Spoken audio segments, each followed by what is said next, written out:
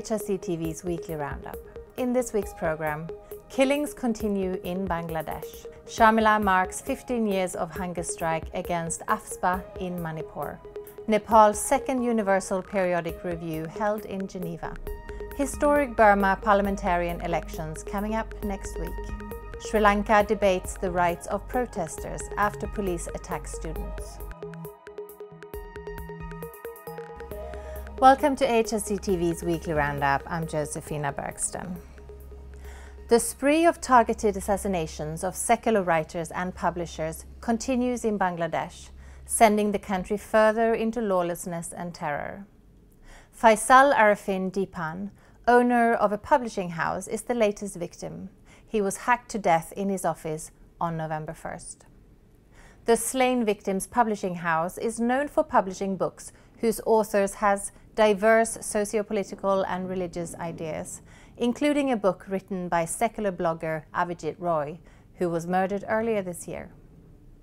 Mainstream media and police officials are blaming pro-Islamist militant groups for this murder and that of five other bloggers assassinated in Bangladesh since February 2013. Curiously, the latest victim's father, Abul Kashem Fazlul Haq, a University of Dhaka professor, has been cited in the media immediately after the murder of his son as saying, I do not want justice. Those who are doing politics in the name of secularism and those who are doing politics over state religion both are destroying the nation. Let there be good sense among them. For more on this, AHRC TV spoke with Mohammed Ashrafuzzaman, who works on Bangladesh as well as UN issues at the Asian Human Rights Commission. Regarding the assassination of Faisal Arefin Dipan. Uh, uh, one misinformation has came in the media that he was a blogger. His family asserts that he was not a blogger, he was just a publisher. His publishing house used to publish a lot of books and uh, one book of slain uh, blogger uh, Avijit Rai his publishing house published in recent years. Uh, apart from that, he did not write anything, any comment in in any social networking site or any website. There is another area about uh, uh, this assassination is that Professor Abul Qasim Fazlul Haq has publicly said immediately after uh, the assassination of his son that I don't want justice. So, which is very significant in the context of Bangladesh because many ordinary people don't want to go to the judicial system uh, because of their experiences. And this professor is also saying that he doesn't want justice.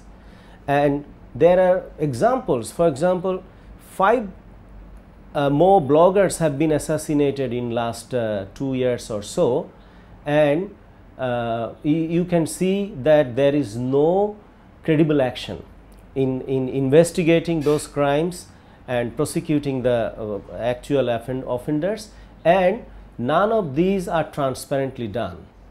So, people simply do not have faith on the judicial system uh, and that uh, everybody should concentrate to at the moment that why this trust is being lost from the judiciary and what the judiciary itself should do to bringing back the trust and uh, and what is actually their role they are expected to play they are legally and constitutionally obliged to play which they are not doing at the moment. Uh, one last thing is that professor abul qasim fazlul haq has uh, said before the media on 4th of november that since the independence of Bangladesh in 1971, he has never felt such insecure what he was feeling on that day uh, because uh, his family is receiving death threats from unidentified callers. So it indicates the freedom of expression in the country, the freedom of other democratic rights and very importantly the independence of the judiciary without which the people cannot survive and they cannot breathe in, in a society. So everybody should concentrate to that and how to uh, redevelop this, how to bring back democracy in the country and uh, uh, ensure that the country becomes a rule of law state. Across the border from Bangladesh, in the Manipur state in northeast India, Irom Sharmila has this week completed 15 years of hunger strike. She is demanding the repeal of the Armed Forces Special Powers Act, or AFSPA, which was enacted more than 50 years ago. AFSPA gives security forces the right to use lethal force and arrest people without a warrant in areas deemed as disturbed. Thousands of innocent people have been killed over the years, and the perpetrators act with impunity, protected by the Act. Sharmila, a 42 year old poet and human rights defender, began her hunger strike in November 2000 after she witnessed a brutal attack by the paramilitary force Assam Rifles, in which 10 innocent people were killed in Manipur. Ever since, she has been held in judicial custody and force fed through a tube, accused of attempted suicide, a crime under Section 309 of the Indian Penal Code. Attempted suicide is punishable with up to a year in prison.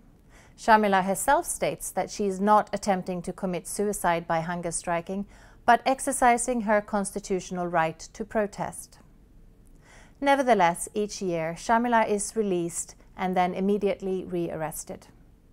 This has continued for 15 years, and Sharmila has pledged to continue her protest until AFSPA is repealed.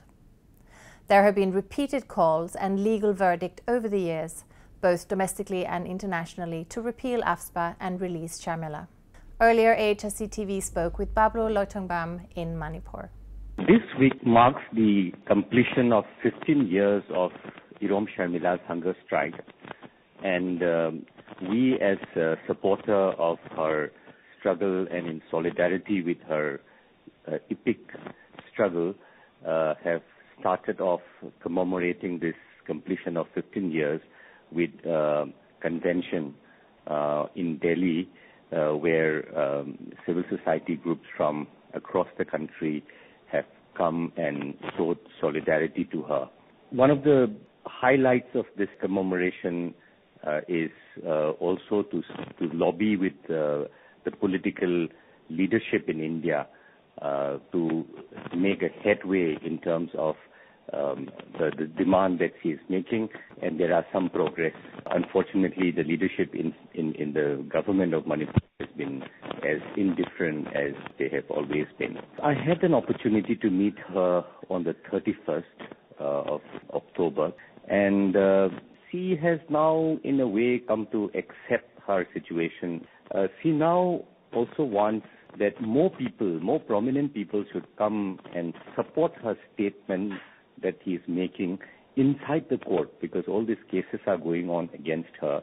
And uh, she wants defense witnesses for her to come and say she is not on a suicide mission. She is there uh, for a political cause. And this uh, falsely charging her as attempt to commit suicide should be refuted by more prominent people from the society. And this is this is her desire we are also condemning the complete insensitivity of the Indian state on the issue that she is raising, namely the repeal of the Armed Forces Special Powers Act. Almost every human rights monitoring body in the United Nations has come out clearly saying that this is in violation of international law, violation of human rights law, violation of humanitarian law even. And now over to Nepal, which this week underwent its second cycle of Universal Periodic Review, or UPR, in Geneva. The Nepal government made promises during the last UPR review in January 2011 that it would step up and improve the weak human rights situation in the country. Nepal has largely failed to take effective action and live up to its commitments. Deputy Prime Minister and Minister of Foreign Affairs Kamal Thapa headed the Nepalese delegation. Also present were representatives from the National Human Rights Commission and members from the Truth and Reconciliation Commission, as well as the Commission Against Enforced Disappearances. Various civil society members, including advocates working on human rights, also participated in the UPR. Here are some excerpts from UNTV. The fundamental goal of the new government elected a few weeks back, is so effectively is to effectively implement the new constitution by removing the structural and functional obstacles, challenges in the way of socio-economic transformation of the country. The government has started to take necessary measures to formulate necessary legislative and policy tools needed for the smooth operationalization of the Constitution. In fact, we are currently at a very delicate situation resulting from the obstruction of essential supplies at the border points. Lives and livelihood of the entire population have been adversely affected. Schools and hospitals also bear the brunt of current circumstances exposing millions of children, elderly and sick persons to greater risk and vulnerabilities. The future of our children is at stake. Our regional and international trade have been constrained. Our industries are on the verge of collapse. The tourism sector has been hit hard. Our economy has suffered a huge setback. If the current trend is not checked, the country is likely to experience an unjust and severe humanitarian crisis. This needs to be avoided. While we seek to address political problem through dialogue, the continuous obstruction at border points, under any pretext, has severely impeded the exercise of rights and freedom that Nepal is entitled under the international law as a landlocked country. Nepal is a party to the Convention Against Torture and Other Cruel, Inhumane and Degrading Treatment, but has still not ratified the optional protocol. Denmark therefore recommends that Nepal ratifies the optional protocol to the Convention Against Torture and Other Cruel, Inhuman or Degrading Treatment or Punishment. Nepal has carried out positive improvements regarding the Truth and Reconciliation Commission and Disappearance Act. However, the implementation process remains slow. Denmark therefore recommends that Nepal amends the 2014 Commission on Investigation of Disappeared Persons, Truth and Reconciliation Act in compliance with the Supreme Court ruling of 26 February 2015 in order to uphold international standards relating to accountability for gross violations of international human rights and international humanitarian law. I thank you. Burma's historic parliament election is due to be held next week on November 8.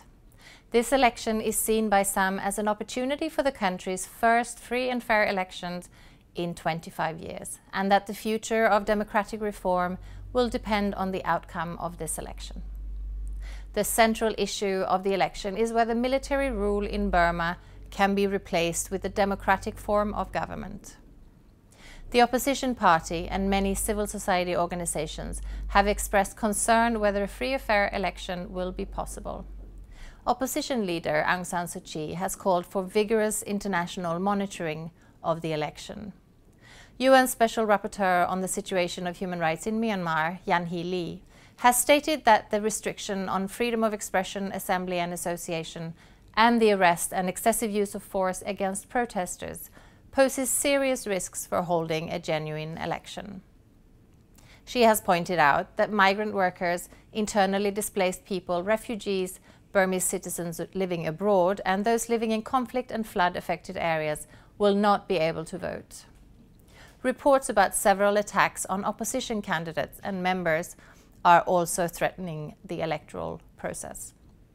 For more on this, AHRC TV spoke with Burmese human rights defender Min Lwin O နိုဝင်ဘာရှိရနေ့မှာကျွန်တော်မြန်မာနိုင်ငံရဲ့အထွေထွေရွေးကောက်ပွဲကြီးလုပ်မယ်ပေါ့နော်ထွေထွေရွေးကောက်ပွဲလုပ်မယ်ဆိုတော့ကခုချိန်ဒီကျွန်တော်တို့ဒီဆန္ဒမဲပေးနိုင်တဲ့မဲစင်းတွေအမှားယွင်းရှိနေတယ်ဆိုတာတွေကျွန်တော်သိရတယ်ဒါလည်းခု၃ညင်ထုတ်ပြန်တဲ့အချိန်မှာ၃ညင်စလုံးဆက်လက်မှားယွင်းနေသေးတဲ့အတွက် မဲစင်းအတိအကျထုတ်ပြန်နိုင်ဖို့အတွက်ကျွန်တော်တို့အချိန်မီလှုပ်ဆောင်နိုင်မှာမလားဆိုတော့ကျွန်တော်တန်တရားဖြစ်ပါတယ်ကိုယ်စလေဒီစီယုံရေးဆင်းတဲ့အခါမှာလည်းကိုတီလေရောက်ကျူးလွန်ခါရတဲ့ကိစ္စအထိအသက်အန္တရာယ်နီးကပ်ပြီးအထိတိုက်ခိုက်ခံရတဲ့ကိစ္စတွေဖြစ်ပွားခဲ့တယ်ဆိုတာကိုကျွန်တော်တို့သိရတယ် သက်ဆိုင်ရာပါတီတွေကတိုင်ကြားထားပြီးမဲ့လေရွေးကောက်ပွဲကော်မရှင်အနေနဲ့ထိရောက်စွာ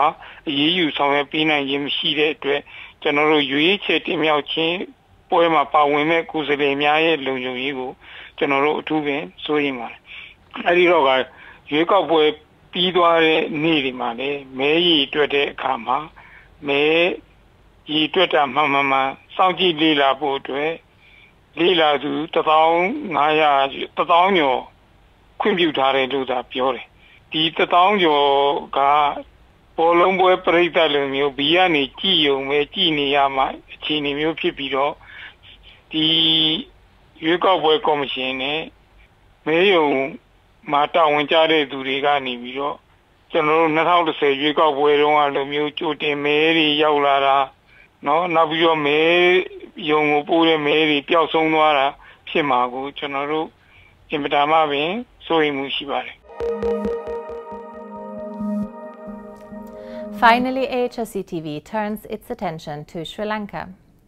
The Asian Human Rights Commission has expressed serious concern about an attack on students who had gathered to present a petition to the Minister of Higher Education at the University Grants Commission in Colombo on October 29. A group of around 500 students had gathered to present a petition to the Minister of Higher Education, Lakshman Kiriella, and have a discussion about the status of the diploma course that they have been following. Initially, they were promised a meeting, but within minutes, they were forced to disperse by a group of officers from the riot police, who used water cannons and tear gas against them.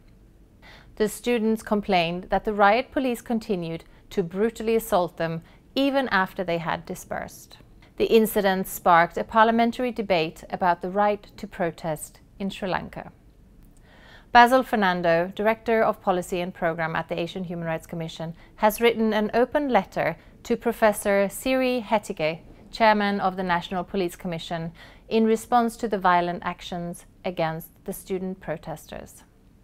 An excerpt from the letter says, To organize and to participate in demonstrations is a recognized right in any democracy. Like in all instances of citizens using their constitutional rights, the duty of the police is to create an enabling environment for the demonstrators to engage in their legitimate activity. Demonstrations are a feature of life in all democracies. While within authoritarian states, demonstrations are banned or discouraged. A democracy considers demonstrations as part of the creative participation of citizens in public life. That is all for this weekly roundup. For more on these and other issues, please visit www.humanrights.asia. Thank you for watching and see you again next week.